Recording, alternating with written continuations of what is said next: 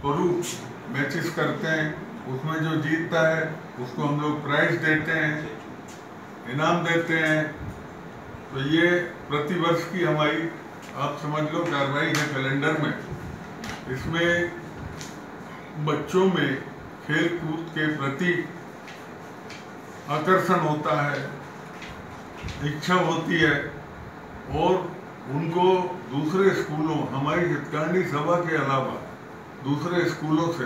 हम लोग मैचेस वगैरह में विन करते हैं, जीतते हैं, सब करते हैं। जो हमारी हितकांडी सभा की वार्षिक एक्चुअल प्रतिस्पर्धा, सारे मैचेस की, सारे चीज़ों की, सारे स्कूल, सारे कॉलेजेस के बीच में राइट टाउन स्टेडियम में प्रतिवर्ष होती है। उसके लिए